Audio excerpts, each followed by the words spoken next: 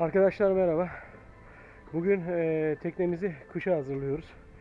E, eğer suda e, kışlayacaksa teknemiz yapmamız gereken şeyleri size anlatayım. E, gördüğünüz gibi arkadaşlar burada bir esnetme yayı ve burada da bir esnetme yayı iki tarafta ve bunların yanına birer tane daha gevşek olan emniyet halatlarını palamar diyelim bağlıyoruz. Ve yan tarafları da usturmaça beslemesi yaptıktan sonra diğer tekneyle herhangi bir sürtüşme ve bir zarar olmasın diye çaparız yapmasın birbirine diye. Ben çift tonoz bağladım. Bir tanesi bu. Bir tanesi de bu. Yani iki tonoz bağladığım için şu anda teknenin geriye gelip de kıçının da karaya çarpması pek mümkün değil. Birazcık da tekneyi açtım karadan. Ve bu tarafa da bir usturmaça beslemesi yaptım.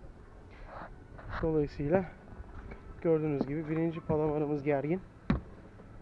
İkincisi daha gevşek. Yani eğer ona bir şey olursa ikincisi devreye girsin diye yapılan bir şey. Burada da aynı şekilde. Evet teknemizde gördüğünüz gibi diğer teknelerden bir hayli karadan açıkta.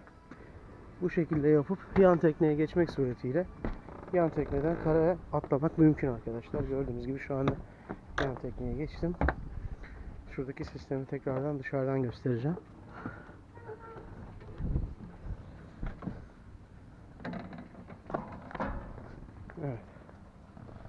Gördüğünüz gibi teknemiz böyle. Bir hayli karadan uzakta. Böylece solugan yaptığı zaman ya da dalga olduğunda tekne arkaya karaya çarpmamış olacak. Biz bunun önlemini şimdiden almış olduk. Gördüğünüz gibi. Sadece şurada bir problem sanki var. Bakıyorum. Evet. Bu birazcık gergin olmuş. Diğeri gibi gevşek olması gerekirdi. Belki ona tekrardan bir müdahale yapmam gerekebilir birazdan. Durumlar böyle arkadaşlar.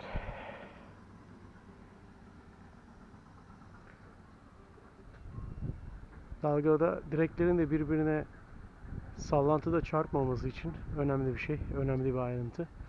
Benim tekneyi birazcık öne aldım ki iki direk birbirinin yan yana gelmesin diye.